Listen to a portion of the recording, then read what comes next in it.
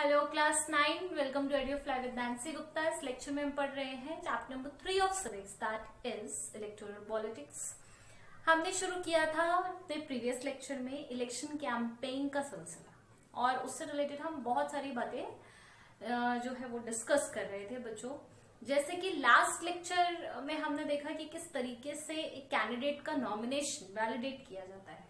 आज हम देखेंगे कि जब एग्जैक्टली इलेक्शन कैंपेन शुरू होता है, जब टिकट मिल जाता है ना किसी कैंडिडेट को, उसके बाद जब चीज़ें शुरू होती हैं, जैसे आप प्रचार कहते हो हिंदी में, वो प्रचार किस तरीके से किया जाता है, उसका क्या एक कंडक्ट होता है? ठीक है, उसमें बहुत दिलचस्प पहलू आपको पता चलेंगे, जो कि इलेक्शन कमीशन की तरफ़ से जाते हैं। बहुत सारी चीज़ें जो आज डिस्कस होंगी, उसमें से आपको बहुत सारी चीज़ें पता रहेंगी। एक आध चीज़ ऐसी है, जो आपको लगेगा this is interesting to know जैसे कि let's begin with election campaign तो इलेक्शन कैंपेन क्या होता है? It is a period of two weeks दो हफ़्ते का कोई कुछ समय होता है ये।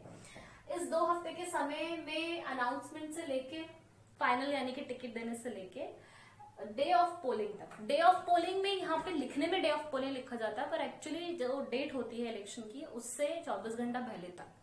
बंद हो जाता है 24 घंटा पहले। तो वो 24 घंटा पहले तक का जो ये ड्यूरेशन होता है, जहाँ पर ये लोग अपने आप को प्रेजेंट करते हैं in front of the public और वोट गेन करने की कोशिश करते हैं, उसको हम इलेक्शन कैंपेन बोलते हैं। अब, इसमें लोग क्या क्या करते हैं? मीटिंग्स करते हैं, आपने कई जगह देखा होगा टेंट हाउस लगा हुआ होगा दम्बू लगा हुआ होगा बहुत सारे लोगों को बुलाया होगा और फिर उनको बुला के उनको बताएँगे कि हम ये करेंगे, आपके लिए वो करेंगे। ठीक है, इस तरीके से गैदरिंग्स होती है।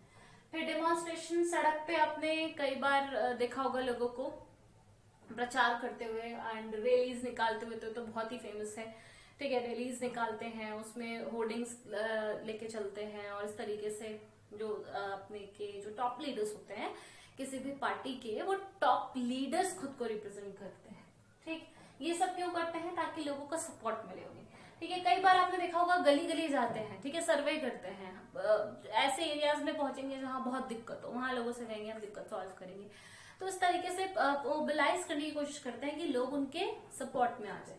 सेकेंड टेलीविज़न और news newspapers go full of stories and debates in this दौरान आप न्यूज़पेपर उठा के देख लीजिए, वहाँ आपको सब मिलेंगी स्टोरीज पर्टिकुलर पार्टी के बारे में, किसी उसके एजेंडा के बारे में, उसके स्लोगन्स के बारे में, और उसके अलावा टीवी पर आप देख लीजिए debates and debates then different parties use different slogan सबसे ज़रूरी चीज़ होती है, वो होता है अपना एक स्लोगन बनाना, अपनी एक पहचान बनाना जो आपकी आइडियोलॉजी को रिप्रेजेंट करे। ये बहुत ज़रूरी है। स्लोगन्स लोग पूछते हैं कि क्यों बनाए जाते हैं? Why to make slogans to represent ideologies ये इसका जवाब है।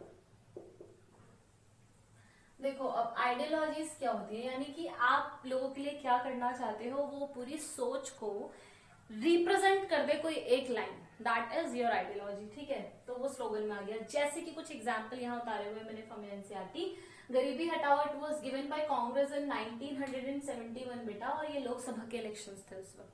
अब देखो सजेस्ट कर रहा है, नाम खुद ही अपने आप को एक्सप्लेनेटरी है. गरीबी हटाओ that means removal of poverty next save democracy ये थोड़ा सा डिफरेंट है और इसका उस वक्त मुद्दा अलग था. ये जनता पार्टी की तरफ़ से दिया गया था 1977 इलेक्शन में. लोकसभा इलेक्शंस में। इनका कहना था अंडर सेफ़ डेमोक्रेसी उससे पहले 1977 से पहले देश में इमरजेंसी आई थी, जिसकी वजह से पूरी जो हमारी सिक्योरिटी व्यवस्था थी देश की, वो डिस्टर्ब हो गई थी। तो इनका कहना था कि हम डेमोक्रेसी बचाएँगे।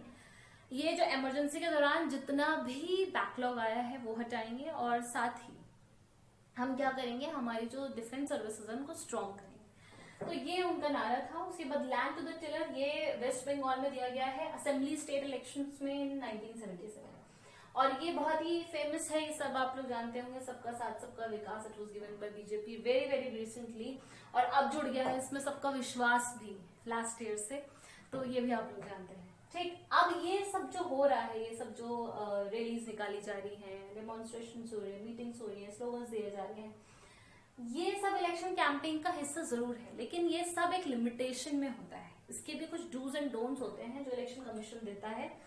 सवाल एक नंबर में ये है कि डूज एंड डोंट्स क्यों रखता है इसी ताकि हमने ये चैप्टर वन से पढ़ा है फ्री एंड फेयर इलेक्शन ये डेमोक्रेसी का एक बहुत बड़ा फीचर है। तो फ्री और फेयर इलेक्शन रहे, इसके लिए डूज और डोंट्स रखना, यानी कि किस तरीके से ये सब कुछ करना है, ये पहले से इन पार्टी को बता देना बहुत ज़रूरी है।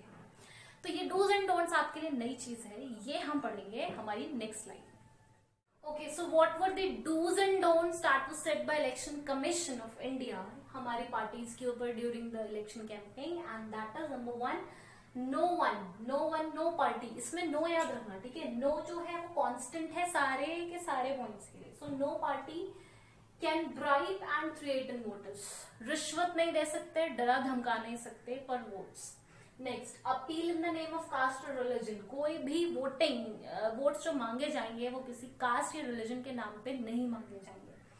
Use government resources for election camping कई बार क्या करते हैं कि जो रनिंग रूलिंग गवर्नमेंट होती है, वो भी तो हिस्सा होती है ना इलेक्शन कैंपिंग का। तो वो अपने जो सरकारी चीज़ें होती है, उनका बहुत इस्तेमाल करती है। तो इस तरीके की किसी चीज़ का इस्तेमाल नहीं होगा इलेक्शन कैंपेन में। Then spend more than 25 lakh rupees if Lok Sabha election and more than 10 lakh rupees if assembly election अगर स्टेट इलेक्शन है तो 10 लाख से ज़्यादा का खर्चा। और अगर लोकसभा इलेक्शन है तो 25 लाख से ज़्यादा का खर्चा प्रचार में नहीं किया जाएगा। ठीक है? तो आ, कुछ बच्चों को कई बार ये रहता है कि इस पॉइंट का क्या मतलब है? Appeal in the name of caste और रिलीजन देखो बच्चों मैं और ज़्यादा क्लियर कर देती हूँ उसको। ये पॉइंट कह रहा है कि आप अगर किसी से वोट मांगना चाहते हैं इमेजिन करिए you are a candidate of some party और आप कह रहे हो कि भाई हमारी पार्टी तो हिंदू के लिए काम करती है। तो अगर if you are a real Hindu and if you want the benefit of Hindus हमें वोट दो। तो ये नहीं करना है। ये गलत बात है।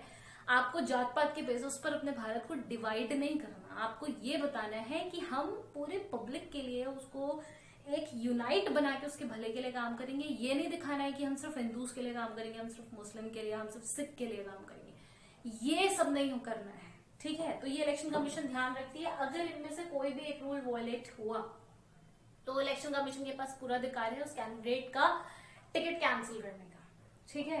उसके अलावा भी कुछ code of conduct election commission बनाती है, जो सारी पार्टी को फॉलो करने पड़ते हैं। Now what are those code of conduct पहला कोड ऑफ़ कंडक्ट कह रहा है कि any party can't use any place of worship for election propaganda आप अपने किसी भी प्रचार के लिए किसी मंदिर, मस्जिद, गुरुद्वारे चर्च का इस्तेमाल नहीं करेंगे। दूसरा can't use government vehicle aircraft official for election यही बात अभी यहाँ बताई थी कि अगर भाई रनिंग पार्टी भी उसका एक हिस्सा है तो रनिंग पार्टी किसी भी सरकारी एम्प्लॉय का या चीज़ों का या, या उसके एयरक्राफ्ट का इस्तेमाल नहीं करेगी अपने प्रचार के लिए। दूसरा only election announced minister shall not lay okay once इसको वंस कर देते हैं ये ओनली नहीं है इसको वंस कर लो यहाँ पे। ये बेहतर हो जाएगा। वन सिलेक्शन अनाउंस एक बार। एक बार इलेक्शन की डेट अनाउंस हो जाती है कि भाई आज से प्रचार शुरू हो रहा है। ठीक है? उसके बाद से जो रूलिंग गवर्नमेंट है, जो रनिंग गवर्नमेंट है, इस सत्र की, वो कोई भी ना तो बड़ा डिसीज़न लेगी, ना कोई प्रोजेक्ट शुरू करेगी, ना ही पब्लिक से उसकी भलाई में करने के लिए कोई डिसीज़न के वादे करेगी। ठीक है मतलब उसका जो कार्य होता है नॉर्मल जो वो कर चुकी होती है आज से पहले, वो सब तो करेगी, लेकिन अब कुछ नया शुरू नहीं करेगी किसी भी भलाई के लिए। अब रोक देगी, ठीक है? तो ये सारे कोड ऑफ़ कंडक्ट है, ये ध्यान में रखने हैं सारे की सारी पार्टीज़ को ड्यूरिंग द इलेक्शन कैंपेन ये इनमें से अगर कुछ भी वॉलेट हुआ तो ईसी यानी कि इलेक्शन कमीशन के पास पूरा अधिकार है, पूरा राइट है टू डिटेन एनी कैंडिडेट अगर उसने देखा कि फेयर और फ्री इलेक्शंस नहीं हो ठीक है? तो आज का ये टॉपिक यहीं पे मैं रेस्ट करूँगी क्योंकि ये जो पॉइंट्स हैं बच्चों, ये आपको याद रखने पड़ते हैं, ये आते हैं एग्जामिनेशन में तो ज़्यादा नहीं बढ़ाऊँगी, इतने ही पॉइंट्स को वापस से देख लो और अगर समझ में आया तो बहुत बढ़िया बात है, नहीं समझ में आया तो full access to write down in the comment section so stay tune क्योंकि जो नेक्स्ट टॉपिक आने वाला है, वो आने वाला है पोलिंग एंड रिज़ल्ट ठीक है? कि पोलिंग कैसे होगी? जिस दिन इलेक्शन होगा और रिज़ल्ट डिक्लेरेशन कैसे होगा? तो वो लेक्चर भी ज़रूर अटेंड करेंगे। मिस नहीं करेंगे, सारे लेक्चर्स बहुत ध्यान से सुनेंगे इस चैप्टर के, क्योंकि सब प्रैक्टिकल आपके सिनेरियो से रिलेटेड है। Okay so have a good day